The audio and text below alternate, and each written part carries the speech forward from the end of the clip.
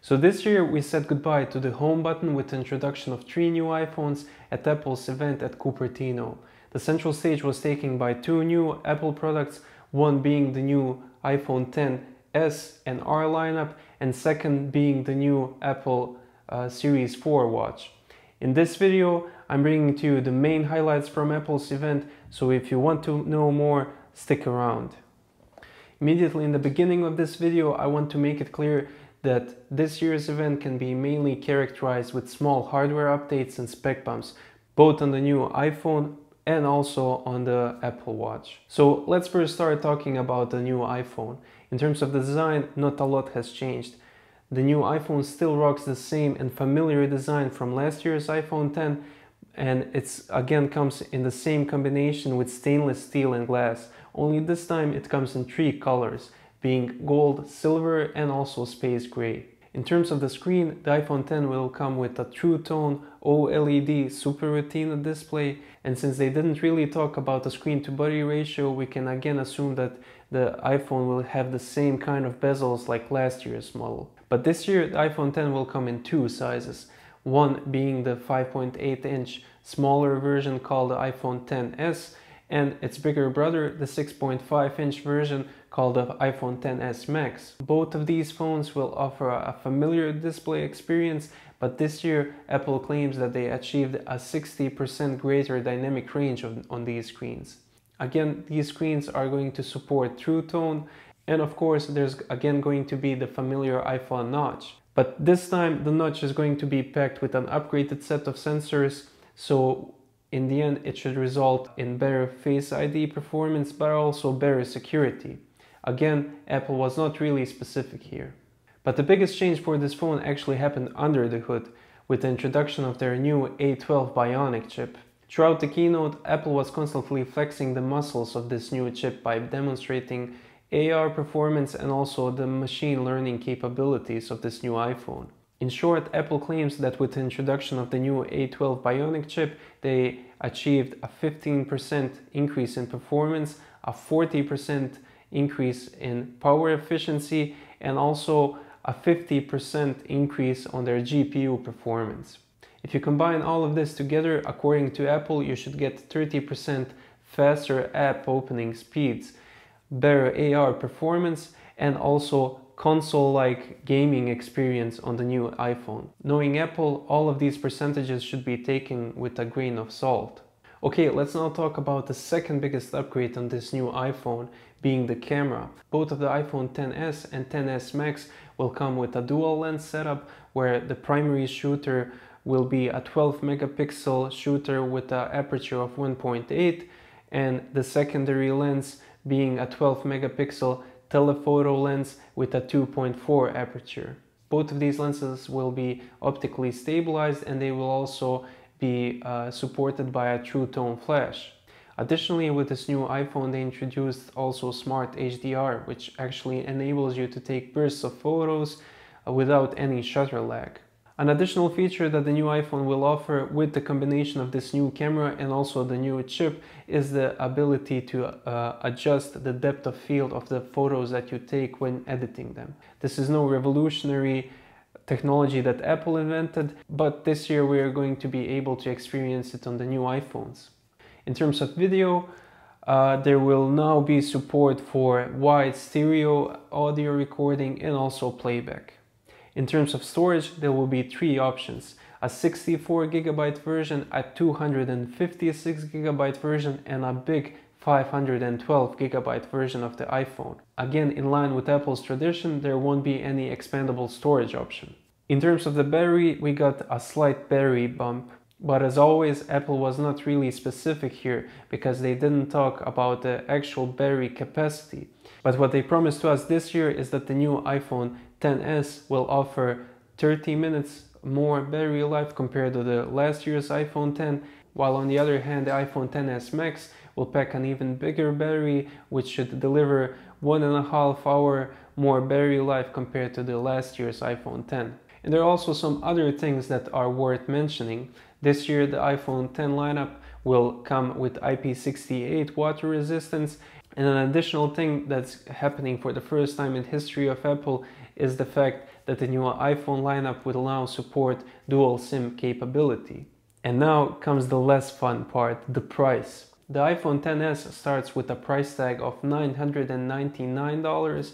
On the other hand, the bigger brother, the iPhone XS Max, starts with a price tag of $1,099, which goes up to a very uncomfortable price of $1,449 for the 512 gigabyte version. Okay, but let's now focus on what's, in my opinion, one of the biggest highlights of the event, and that's the introduction of the more affordable member of the iPhone X lineup being the iPhone XR.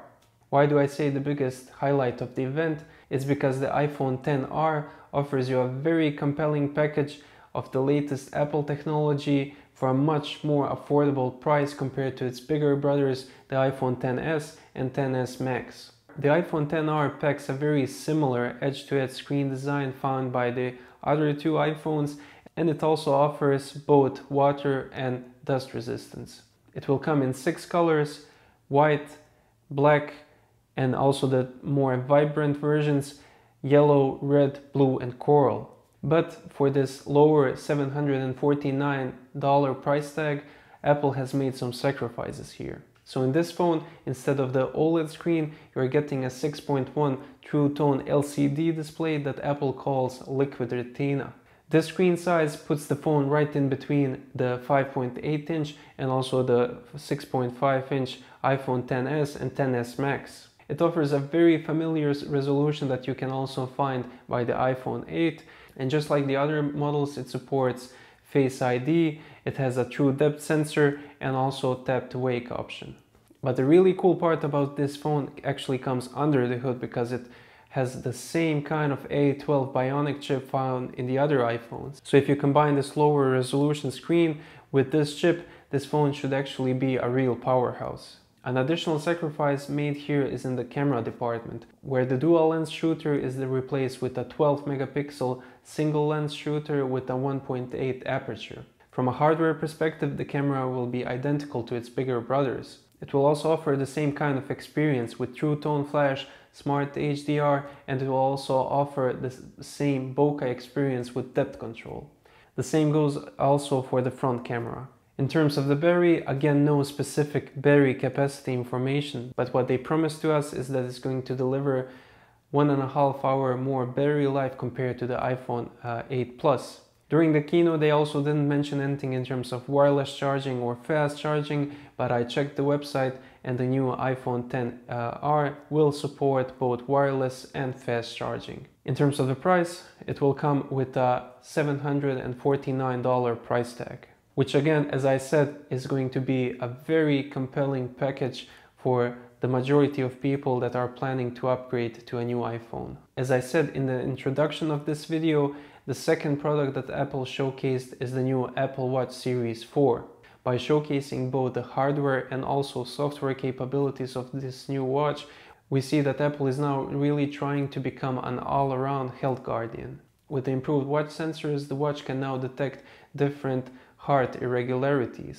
An additional thing that the watch can do now as well is to detect uh, the potential scenario where you fall on the ground. In that case, it enables you to do an SOS call or it sends your location to your emergency contacts. But in essence, it's the same story like for the iPhones. Not a lot has changed here.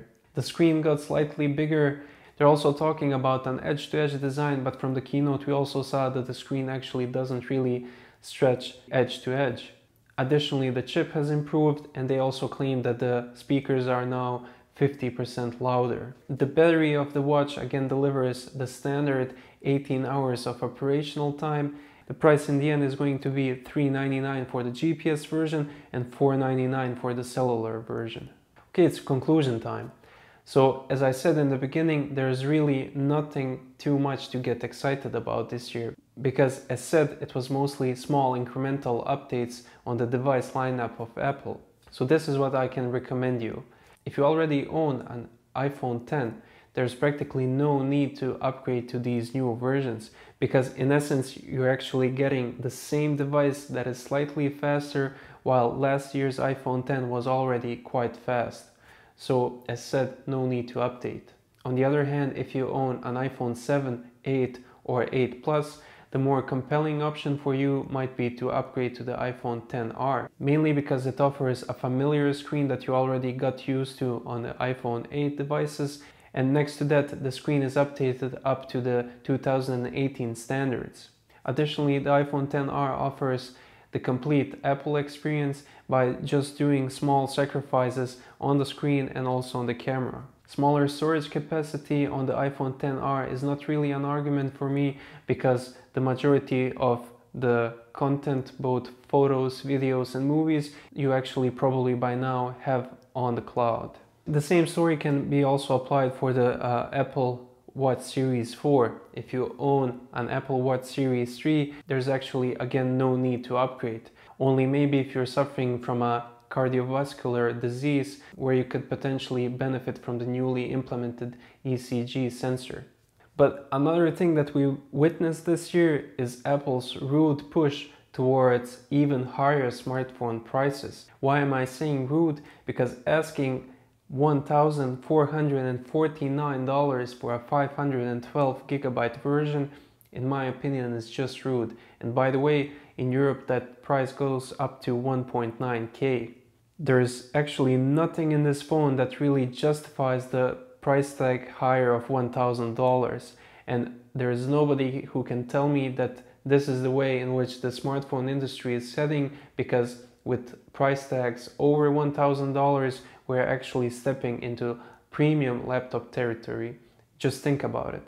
But let me know guys what you think. Do you agree or disagree? Which of these new Apple products are you getting this year? I'm really curious to hear. So let's start the discussion in the comment section below. Okay guys, so this is gonna be it for this video. If you like this video, give it a like.